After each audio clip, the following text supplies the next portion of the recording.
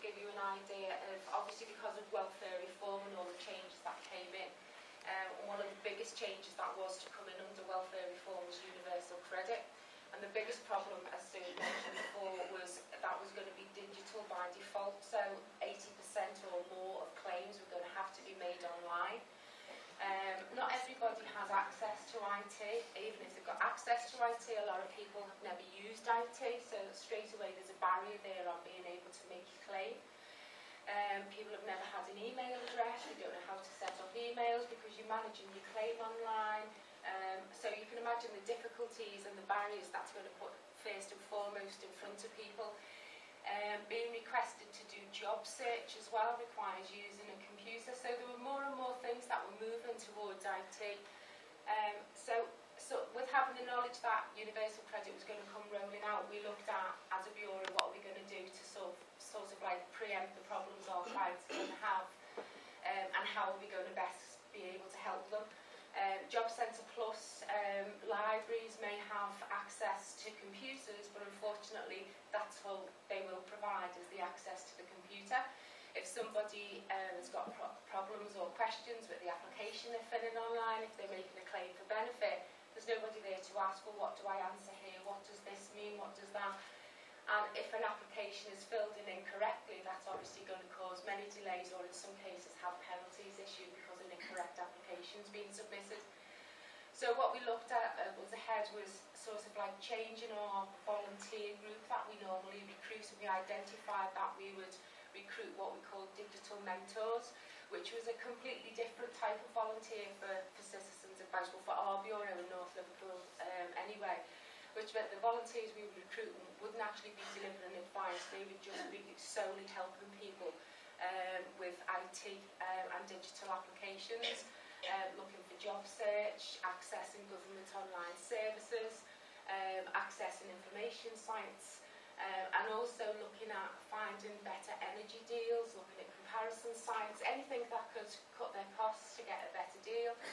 Um, so we actually started looking at recruiting um, to, to get a core group of volunteers that we would have, that when people were coming in, we could actually assist them and help them with that and be on hand to give them some uh, advice and information on other things that they could possibly do.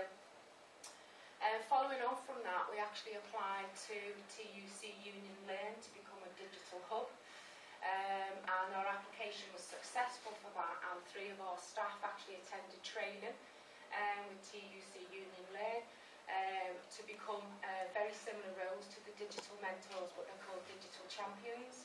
Um, and they would be providing people with the same kind of service Um, we've receiving um, equipment from them and also um, internet access um, for a 12-month period in order to assist people to make these applications because obviously everything is moving over um, to IT.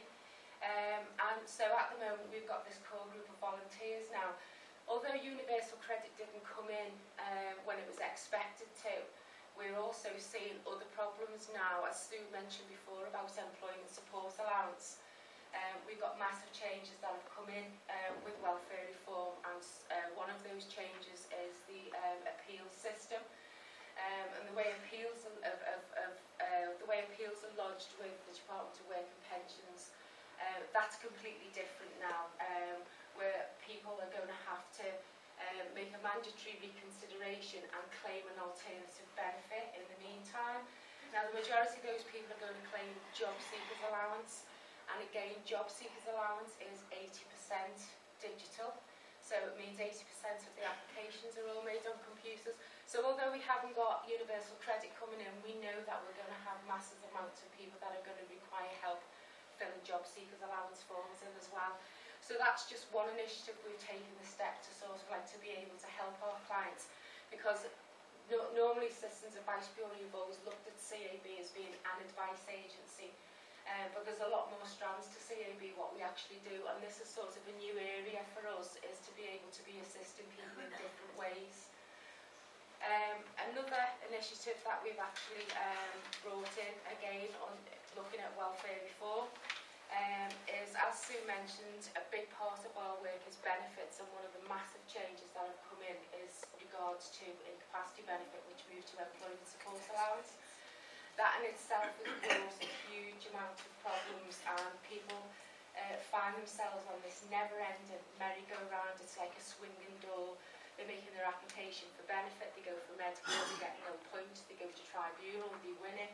Then they get sent a review form, they fill their form in, they go for the medical, they don't get their points, they go back to tribunal.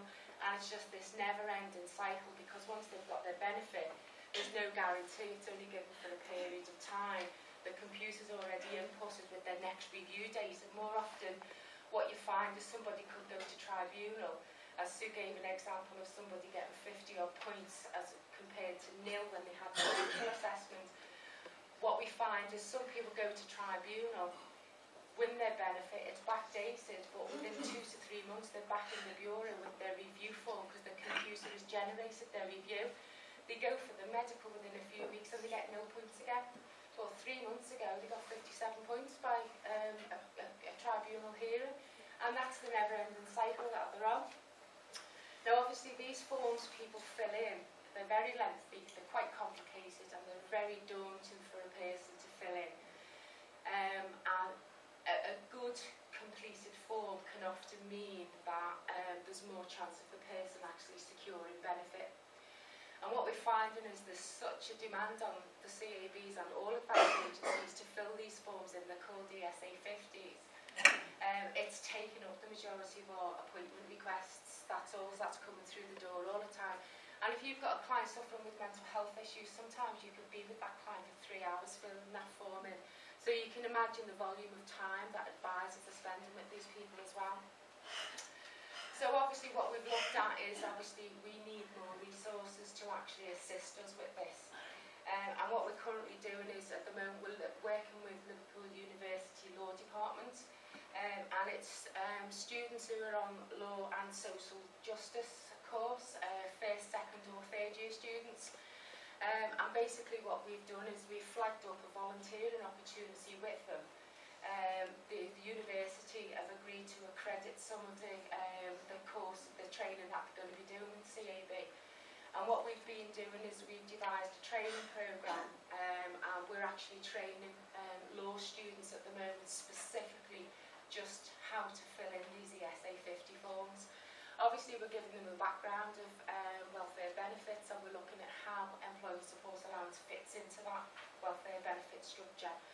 Um, and obviously um, we had 97 applications when we first put the advert out and we obviously we looked at the applications and, and we sort of whittled that down to 42 which we felt was more a, a manageable amount um, and up to now we've still got 36 people who are still on that training so hopefully um, the next the next session when that finishes they'll come into Bureau do some observations and then we're going to have some students that are going to be able to assist us uh, with actually providing that service for the e ESA 50s. So that's another initiative that we're looking at, obviously looking at welfare reform, uh, where we know there's that demand for the service and the resources that we've got, we're obviously restricted. We are a volunteer service. The majority of our advice is delivered by volunteers, so you can imagine we have a turnover of volunteers. Um, and sometimes we're feast or famine. Sometimes we can have loads and people move off for various reasons. The majority of the time they leave for paid employment. So we're constantly recruiting new volunteers all the way through. So this is just a, another role that we've actually developed in Euro to assist our service users um, under the current climate because they're the issues that are coming into us. Um, in addition to that, um, from Liverpool University via interchange, we've actually recruited a research student Um, he's in his final year, in his third year, and what he's actually going to do with us is um, he's come in with us now in our bureau.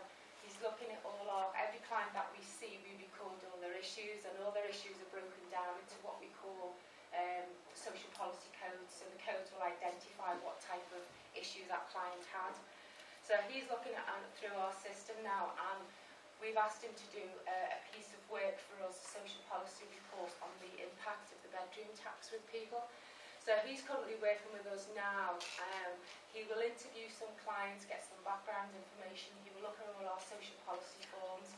Um, he'll look at all our codes, he'll research it all, and he's going to produce a social policy report from us, which is going to be based on factual information, based on how people are suffering because of the, um, the bedroom tax.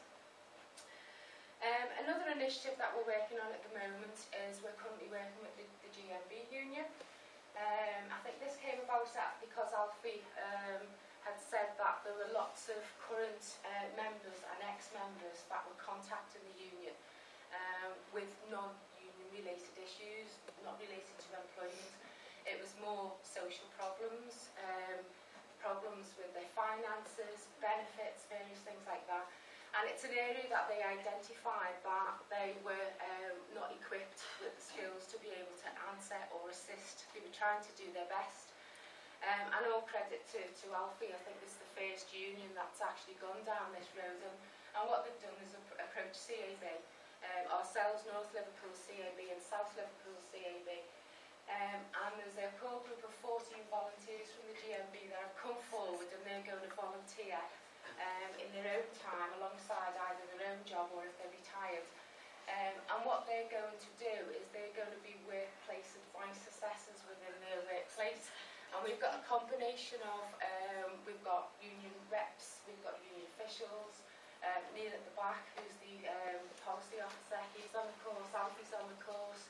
Johnny was here before, is on the course. And basically what we're, we're doing with them is uh, they're going to be workplace advice assessors, but what obviously do, how did we start doing this? So we've, we've drawn up a structured training plan over eight weeks um, and we're looking at various aspects of them actually going through the training programme, looking at the types of issues that people have obviously have, have been coming to them. Um, we've looked at sort of like the ethical framework of advice, um, we've gone through sort of like key skills required for interviews, We've gone through the main inquiry areas of what types of issues people are going to come to them, because this is not going to be employment related, but other issues. Like Alfie said, there were lots of people coming with sickness and disability benefit issues, retired members who are now elderly, um, looking at disability benefits like attendance allowance, um, and obviously they felt that they were completely out of their scope. Um, so the course is going to look at in-work benefits as well. It's going to look at sickness and dis disability benefits. We're looking at money management, so there'll be like financial capability that will be there on the course as well. Um, and the whole idea of that is to actually is to equip these work-based assessors with information and with some knowledge so that when they've got members or ex-members coming to them, they know what they need to do, what information they need to gather, background information, identify emergencies, whether that's debts, whether it's court hearings, whether it's time limits on um, taking any action against benefit decisions, but it's also looking at where we can find information to help people, looking at online services we've gone through with them, uh, different sites they can go through, citizens advice, um, have got a website advice guide so they can get lots of factual, lots of fact sheets off that, So we've gone through where they can actually get information for self-help to be able to help their members. But also what they're doing as part of the assessment is identifying um, what the next step would be. Um, so they will know that they would need to maybe refer somebody on because they're going to need more direct interview, further steps, advice, or there may be negotiations with third parties that need. And that's where the sort of like the connection with CAB and the networking is come the partnership working because they'll be able to contact CAB and be able to, they've done the initial groundwork, they know exactly what it is and we can take the referral from them and then we can pick up then and provide a, an advice appointment or refer to a special housing worker um, or a debt worker or whatever the issue is. So that's sort of like a, another initiative we're actually working with. And I think Sue's on the course as well, although you're not GMB Sue, are you? You're TUC. Oh, sorry, GMB now. You asked TUC when the course started. So, as I say, that that's um, I think that's breaking ground for the GMB Alfie, isn't yeah, it? Yeah, you know, it's, it's it's something new that they've identified that it's another service that they're looking at where they can see there's a gap that's not being provided for union members and ex-members. Um, so hopefully, you know, that will that will move along quite nicely. But we're, we're sort of halfway through that course at the moment. We're on day four. And the third day of that course involved all of those that are attending the course actually coming into the bureaus. Um, and they were actually observing the advice sessions happening, uh, which is very similar, that we, we call them gateway as, as assessments. Um, so they were able to shadow alongside gateway assessors and see the types of issues, see what types of information was being given to them, where people were being directed, so if it was self-help, appointments that were being booked in or whether it was simple just advice being given to them for them to, to go off and to help themselves. So they're just sort of some of the um, initiatives that we're working with. Um, another big part of work that Citizens Advice do, we're not just an advice giving agency, a big part of our work is social policy work. Um, and our social policy work is um, where we identify um, that there is bad practice, um, poor, bad custom, uh, legislation, regulations, anything that we're finding that our clients are suffering from um, and we need to bring about change. So what we do is we record social policy issues when we identify issues such as that. We record them um, in Bureau and we send them down to our central policy unit which is down in London. Now we've got over 400 CABs throughout the country, but there's more than 3,000 in the country with all the different outlets that all those bureaus have got.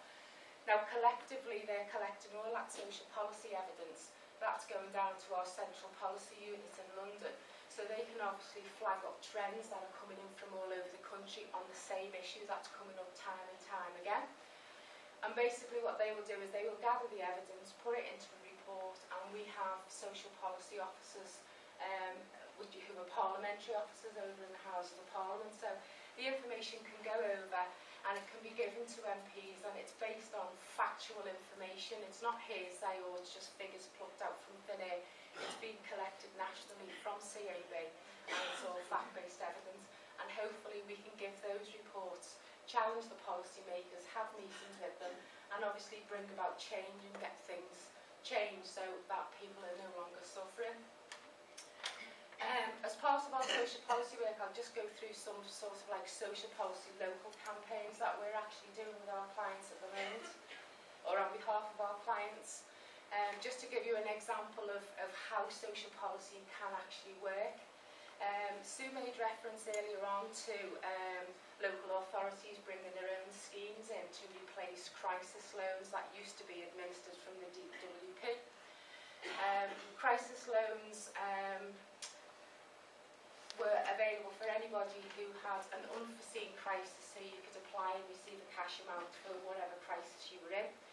Obviously, those the DWP have got rid of that scheme and it's been transferred over now to local authorities, and each local authority across the country is administering their own scheme.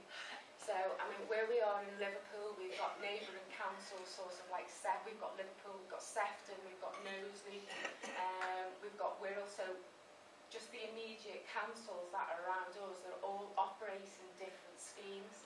So it could be quite difficult sometimes when you've got clients coming in, depending on what postcode they're under, they could be under a different council.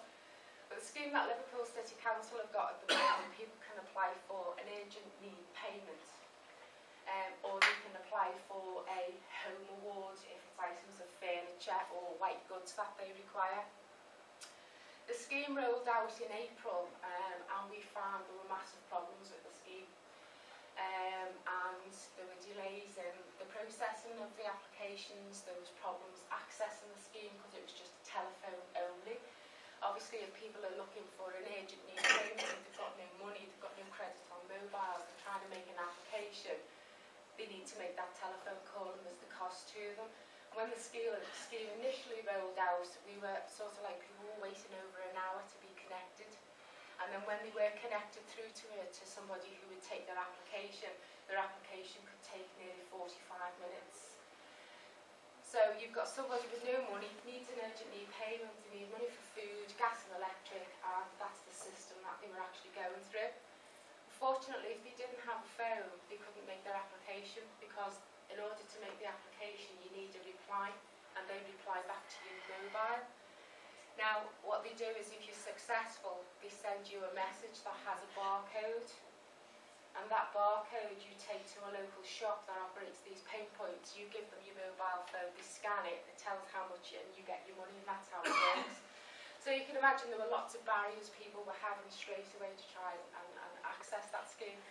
So what we've done is we collected a lot of evidence, we've done a social policy report, and then we met with um, the director of benefits for the local council, the local city council, and also the service managers who administer that scheme.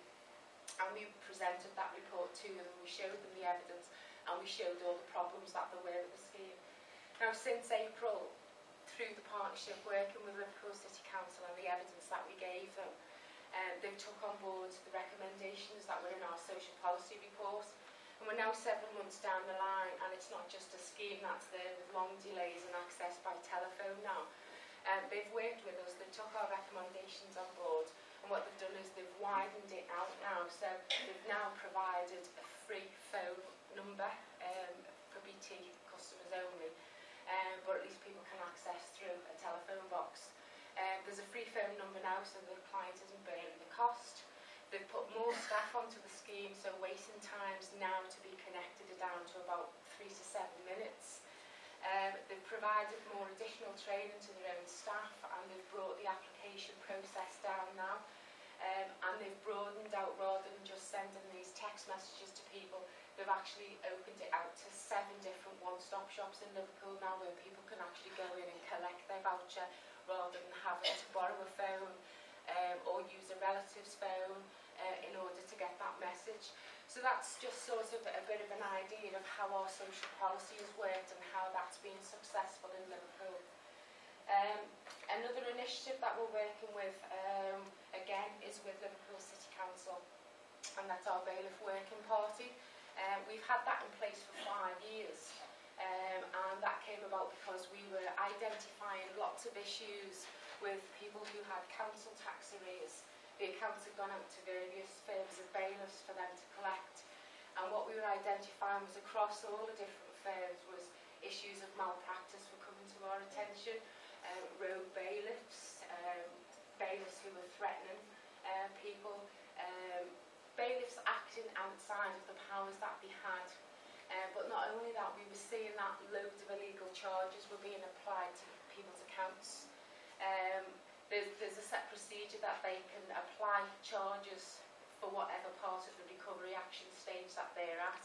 But what we were seeing is that they were putting all of the charges on. Um, you know, if you've got 12 stages, they were putting all of the charges on preempting that was the stage that they're going to go to. So obviously they were just adding those charges immediately to the death that was owed to council. And lots of people would just negotiate the payment arrangements with all these illegal things being added. So again, we've done the same thing. We, we, we done a, we gathered lots of evidence. We've done a social policy report. Um, and we met with Liverpool City Council, many of the, um, the high officers in different departments. Um, and from that, we started a working relationship with them. And I won't tell no lies, it was quite strained at first and it was difficult. But over time, they've sort of like they've started working with us now. Um, it did take time to get there, but from that, what happened was, from the evidence that we collected on behalf of our clients and input from various staff, what we done is um, when the bailiff's contract were coming up for renewal, they put their, the council put their contract out to tender. Um, the bailiffs have to abide by a code of conduct. Um, and what the council one that we've got in place now, change it. And you put in what you think needs to be in that code of conduct, give it to us and we'll look at it and if everything's fine we'll go with that. So that's what happened as we put the new code of conduct in place with Liverpool City Council. Um, some minor adjustments, some changes were made and that was rolled out. Um, I mean, obviously from that we also got contact names of all the different bailiff firms so we can contact direct And that working part has been going on for nearly five years now. Um, and we meet three times a year. uh, there's two of us from North Liverpool and there are four officers from Liverpool City Council and also a local councillor, Joe Hanson. And we meet three times a year and we will still bring issues. I'm not, you know, everything's not fine and dandy. We're still coming across, is across issues. But we've now got an avenue and a channel where we can actually sort those issues out straight away. And we're able to sort of help our clients now um, where all these fees are not being added. We've got negotiations where they will accept our financial statements and offer of payments coming through because they know that we've done a debt assessment process with people and they know that the offer that we're making is a realistic offer.